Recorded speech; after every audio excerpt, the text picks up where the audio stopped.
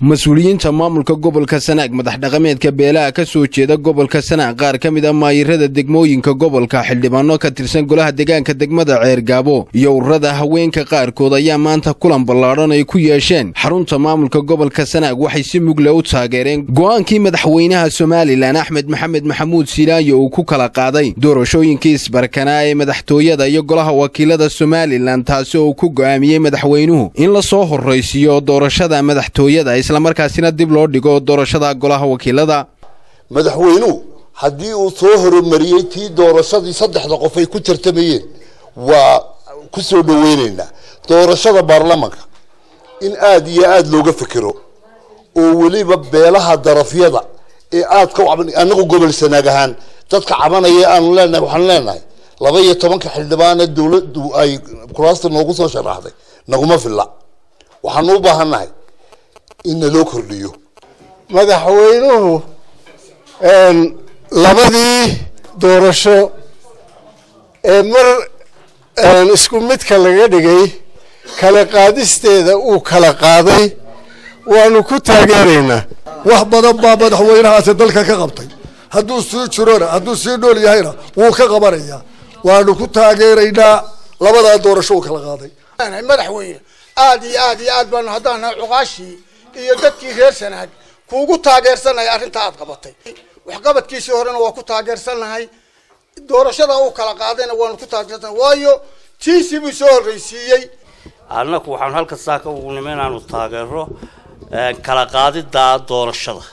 Annaku waxaanu leenahay war isaga ayna kala celin karaye warooy aan isaga u kordhino baanu leenahay baarlamankaa noo dambayso. Halkaagii madaxweyne noo fadhi aan kuu ducaynay halkaagaa noo fadhi oo nin ooman ha noo dhiibin oo haddan doorashada madaxtooyada iyo doorashada golaha baarlamaanka ee uu kala reebay.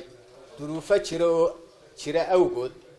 Waa soo dhawaynaynaa waana taageeraynaa waana ku kalsoonahay mug iyo miisaan leh oonu ku taageerano hadalkii kartida badnaa ee aanu ku farxnay ee madaxweynuhu ku dhawaaqay ee uu ku kala reebay labadii doorasho waanu kugu taageernay. Go'aankii aada soo jeedisay ee ahaa baarlamaanka doorashada ee kala saarista waad ku mahadsantay madaxweyne.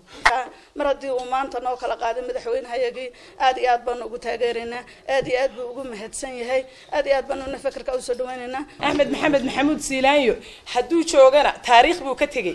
Hadduu jiro oo maxay uu ka degana dowladda nusdambeed buu ahaanayaa. Madaxweyne waad ku mahadsan tahay waana kugu soo dhaweynaynaa waa go'aamadii aad nala gaadhay inaad dadka darafyada degan saami qaybsigooda ay helaan. Labada doorasho baarlamaanka iyo madaxtooyada. Go'aankan madaxweynuhu wuxuu ahaa go'aan runtii geesinimo leh oo ku dhac leh waana go'aamada had iyo jeer madaxweynaha caadada u ah inuu qaato. Madaxweynahana waanu ku ammaanaynaa inuu kala saaray oo xaqayaga aanu ka helno marka laga kulmo ee guddi loo sameeyo. Gobolka sanaag waxaanu doonaynaa in bedka dal ee aanu leenahay lagu qaybiyo xuquuqda dalkeenu leeyahay.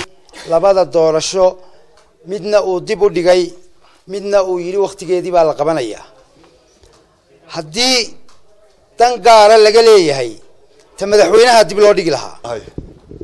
Waa kugu hambalyeynaynaa waa kugu aybsannahay waa kugu taageeraynaa waxaanu mar labaad iyo mar saddexaad ba leenahay waa kugu taageeraynaa waa kugu taageeraynaa. Gebagabadiina kulankan lagu taageerayay go'aanka madaxweyne siilaanyo waxaa halkaasi ka hadlay barasaabka gobolka sanaag axmed cabdi falay ee gobolka sanaag dhammaantoodba ama intooda badani ay isla qaateen inay halkan ka taageeraan madaxweynaha qaranka jamhuuriyadda somalilan mudane axmed maxamed maxamuud siilaanyo labada doorasho ee uu kala qaaday isaga oo u arkayey inay sax tahay in uu kursiga maadaama isaga uu banaynayo oo uu yidhi anigu dub isu sharaxi maayo uu kala qaado oo uu soo horraysiiyo doorashada madaxweynenimada leenahay go'aankii wasiiradu ay soo go'aamiyeen wuu soconayaa waana fulayaa cid ishortaagi kartaana ma jirto. Yani loo joojin maayo cidna maanta dawladdu cududeedii